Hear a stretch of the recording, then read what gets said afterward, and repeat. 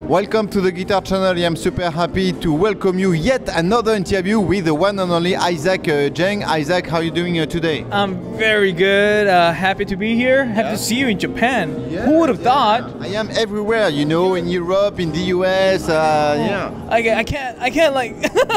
you can get rid of me like, like, uh, like easily, uh, Isaac. Huh? Oh, this is great. I love to. I love seeing you here. Awesome. And in fact, it is uh, mostly thanks to Isaac that I am here at uh, Osaka uh, Sound Messe. It's because he told me, well, you have to come to Japan. Okay, okay, Isaac, I'm coming, I'm coming. So, I'm sorry, it's my fault. yeah, it's your fault. But uh, hey, you're here, so what do we do? we gotta enjoy it. and you told me that you are going to reimburse all my expenses, so that's good, right? right here. This is what's. Uh, tell me, Isaac, what's different uh, about this uh, guitar show compared to other guitar show you've been? uh, part. Big part of it, to be honest, food. Yeah, okay. Oh, yes. So you come only for food here?